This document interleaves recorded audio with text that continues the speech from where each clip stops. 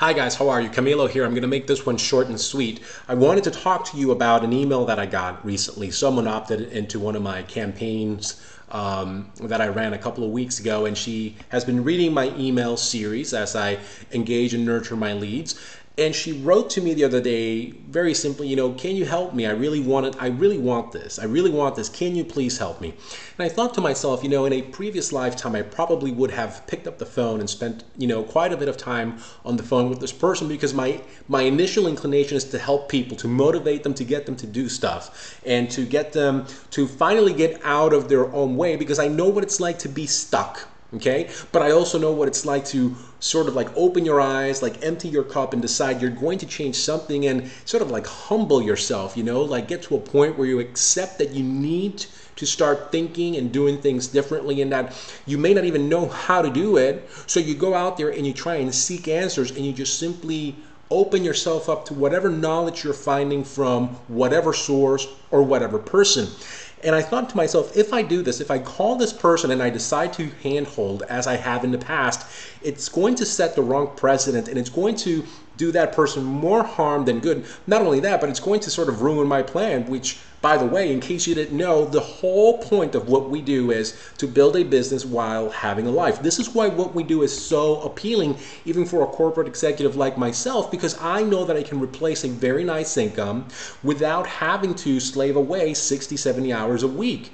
Okay? So when I put things in perspective that way, the answer is not to call someone and say, hey, I am going to help you. The answer is really to ask the question, you know, what are you really willing to do to get there? Are you truly ready? Are you at the point really and truly where your desire is so strong, burning a hole in your heart and your soul that you are willing and ready to do whatever it takes. And more importantly, you're willing to empty your cup and just do exactly what you're told to do so that you can experience the euphoria of things finally happening in your life the way you always dreamed of. And that's the key right there. So I immediately sent an email back and I said, look, we have an amazing community, we have an amazing team, and we'd be awfully happy to help you because this is what we truly are about. I want you to go to this page and watch this presentation one more time if you haven't watched it, okay?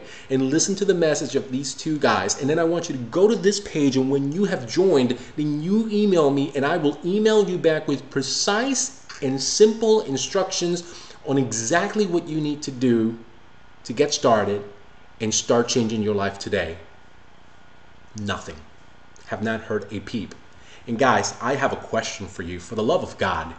If I can't get you to seriously commit $25 to begin a journey to change your life, okay, to begin a journey in which you are going to replace limiting, toxic belief systems that are keeping you and holding you back, if I can't get you to commit $25 to see what our community of budding and thriving online entrepreneurs are doing to change and transform lives everywhere for themselves, for their families, for friends, loved ones, and fellow peers and colleagues. If you can't do that, then you just don't want it bad enough and you are looking for a free ride that does not exist. You are going to have to work hard. You are going to get frustrated. You are going to have to learn things that you don't know today. You are going to have to go through the arduous task of getting really uncomfortable. There's no way around that, guys. But here's here's the beautiful thing. I work for a startup, okay, that has invested millions of dollars in infrastructure, in software development. I started at this company as a creative director thinking this is going to be my golden ticket. It's a startup building a software product that could get bought in a couple of years by some big company out there and I can end up walking away with a nice payoff. All right, and when I started, we were at two and a half million dollars in revenue. We doubled in a year. We're just now starting to break even.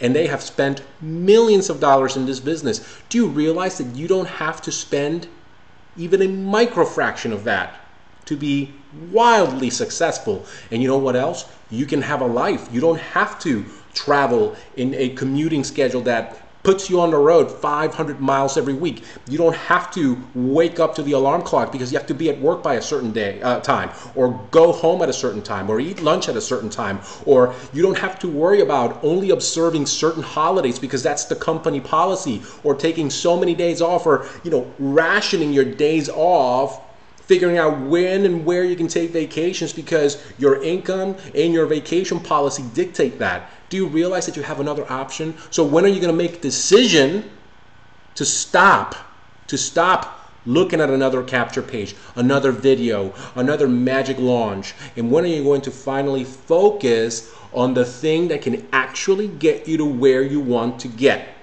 which is staring you in your face right now if you just stop and you clear your mind and you take one tiny action, which is click the button, join, learn, and do. So simple, guys. So simple. Stop looking for the magic bullet. It does not exist. But you know what does work? Fundamental stuff. Product that people want, marketing strategies that work, and then selling to people who actually want to say, Yes, I'm in.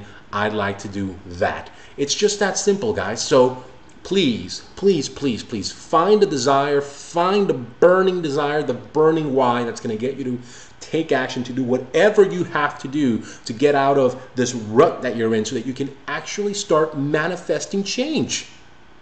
It's right there. But it starts right here. And then this feeds the stuff right between your ears so that you can actually get to know the greatness inside of you. You know what to do. Take action now. If you have any questions, inbox me on Facebook. I'd be happy to help you any way I can. But the best thing you can do right now is to simply stop putzing around and get started doing something today. Take care. We'll see you next time.